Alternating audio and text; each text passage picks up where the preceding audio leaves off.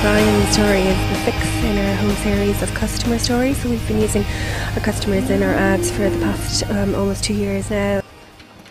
When I read his story in um, Agri Matters, our, our newsletter, I thought, oh gosh, that's an interesting sort of, I suppose, a blend of the sort of more traditional sort of values in Ireland and sort of a more progressive view on farming.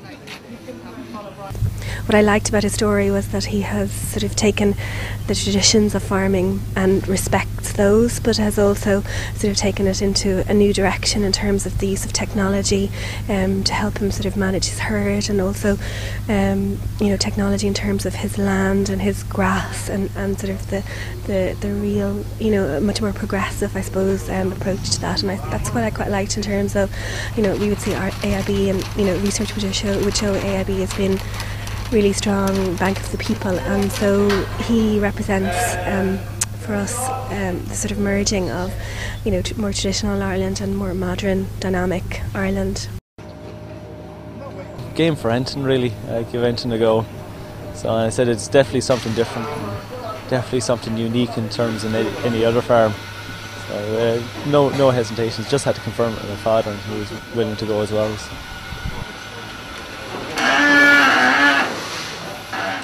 A bit hesitant about the milking this morning. The milking is usually just myself and Philip in, in the pit, and we, we're there to get through as quick as possible. And this morning we were breaking into different scenes. Cows were standing around, like we were two hours later than usual starting. The cows were a little bit on edge, and then you had people coming in and out as well. So we weren't too sure how everything was going to react. But uh, lucky enough, they, they behaved themselves. It went fairly smooth, so I'm, I can sit back and relax now. I think it's important that we actually make the story entertaining rather than make it look like a documentary, which which can sometimes happen when we are dealing with real life people. Because there's not one part of any of the ads we've done the campaign that we would actually you know superimpose anything or you know make it unrealistic or, or lie or fabricate anything. You know, it's it's all about the reality. So I think the difficulty comes in trying to make sure we when we are dealing directly with the reality that we do make it interesting. You know, so I think with with Bryan's case, it was. Um, I mean, he's such a super guy, and he was he was so full of energy, and actually had such an interesting story. It actually made this shoot really easy because we didn't really have to do much. We didn't have to think as much as we should normally on most ads, you know. He was great from the start. I mean, we literally took him to the storyboards and, and showed him what we wanted to do, and we just had to make sure everything was genuine as well. I mean, because we didn't want to be saying we, we want to show you, you know, at four o'clock in the morning, uh, herding hundred calves down the road. You know, we wanted to make sure everything he did was what he actually did in real life. So it was just a case of nearly following around the farm for a few days in the shoot. You know, it wasn't. We weren't going in there having these massive setups, you know, with, great lighting and stuff. It was literally a case of following around and making sure we still got across the story and the importance of relationship by doing this. Seen the AIB ads, and uh, I really liked the way they were about the people and how the people use the product instead of just about the product, which a lot of American ads are about. So I really like that, and uh, I just thought it'd be nice here to come and work with a farmer on his land. The script's really good. I think AIB picked the right guy. I read the script and I said I can't tell you one one of my shots until I meet this guy. And I came down and spent a day with Bryan walking around the farm, and he's the real thing. Okay, we're rolling, rolling. Here we go, all set, and action, Bryan!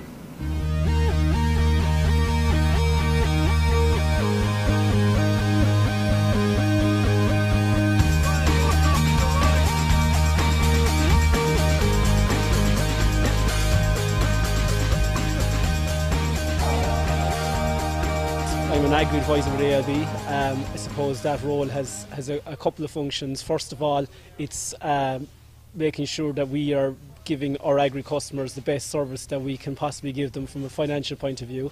That involves visiting farmers, meeting with them, going through their proposals where they're looking for financed for maybe investment in maybe putting up buildings or purchasing land.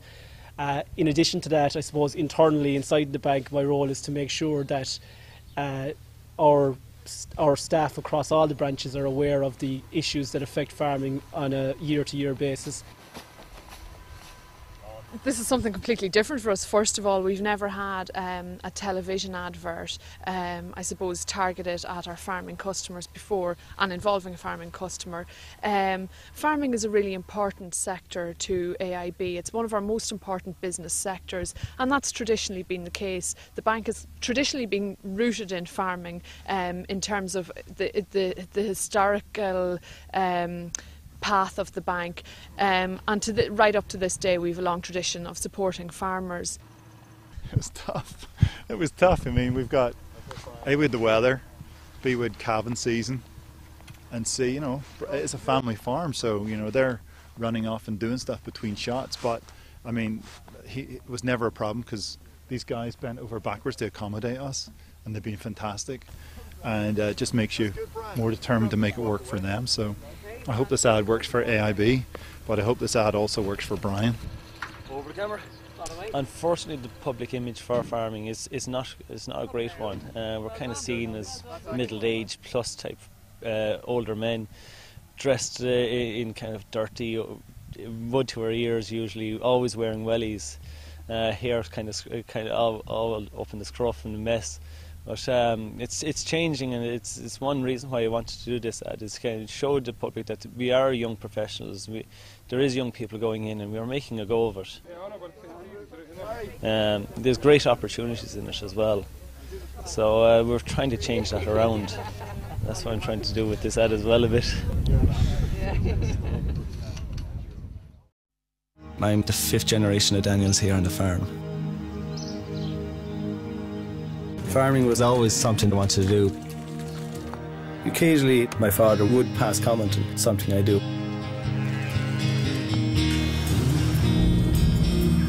It is a business.